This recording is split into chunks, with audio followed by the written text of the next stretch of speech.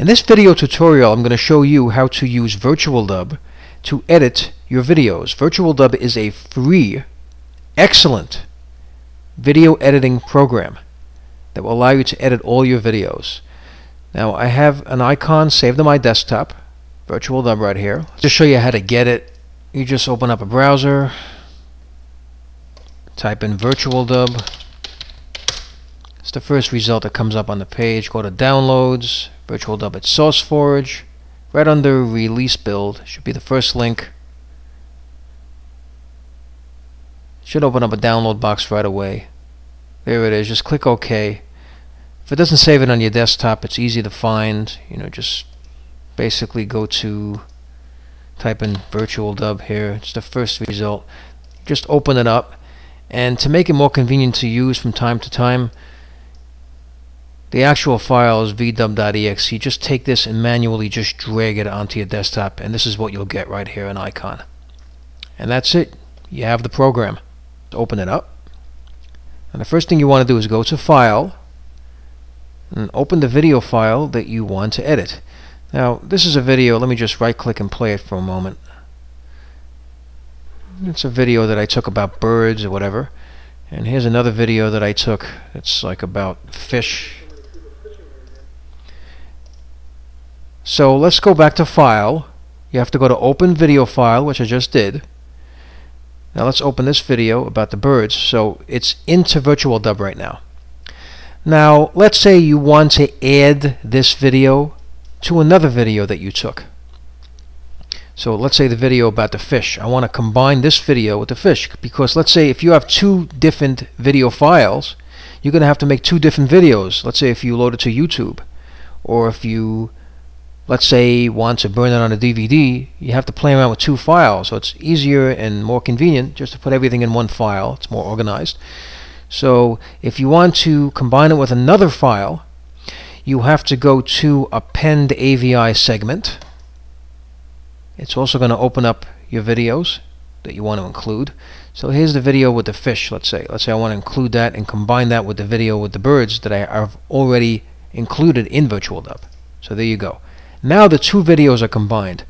So now we can actually preview it by dragging the timeline across with my mouse. Now watch as I do that. This is the entire video. Video with the birds, right? And here's the video with the fish. Now let's say you want to, to put the video with the fish before the video with the birds. So it's basically very easy. It's first come first serve with this type of program you just include the first video that you want to be at the beginning part of the video and the second video to be at the second part of the video you include that by going to append AVI segment. The append AVI segment means that's going to be the video in the second part of it. So it's very simple. The first video you add is the one that shows first the second video that you do with append AVI segment is the one that shows towards at the end. Very easy. Now that you have both videos combined, let's say you see some footage that you don't like and you want to take it out. So you can also preview the video. It actually has a built-in media player. You can actually watch the whole thing. And you can see as it goes. You could just fast forward it by pushing the mouse right here.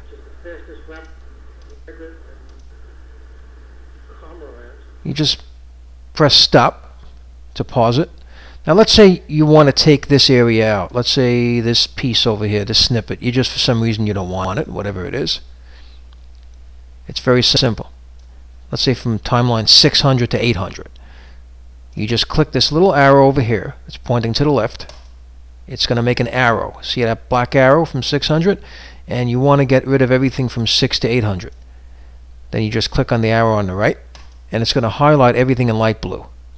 Now that's the selected area that you want to remove. Now all you have to do is if you want to remove this area, you just go to Edit, Cut, and that section is gone. It's very simple. So let's say you're very happy with everything you have. The whole video is here. It's all combined. You took everything out that you didn't like. Now you want to save it. Now this is very important. Many people that use Virtual Dub, they can't understand. When they save the video, it's this huge gigantic file. Like these two files are probably about 35 megabytes altogether. It can turn that 35 megabyte file into 500 megabytes. It's very unmanageable. So what you have to do is you have to make sure that you select by going to video, you select direct stream copy. Don't forget that. Direct stream copy. Now this is important because the issue with Virtual Dub is it always saves its defaults. And it's always as at full processing mode. This is not good because it makes the video huge. So always select direct stream copy. And after you do that, then you save the video. Now to save the video, you go to File, and you go to Save Segmented AVI.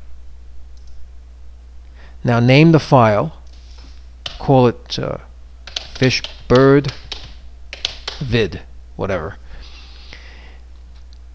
And you just go to save. And now it's going to save the file. Look how fast it goes. It's like, wow, it's really quick. And there it is. It's right on my desktop. Now let's open it up and play and see how it how it works.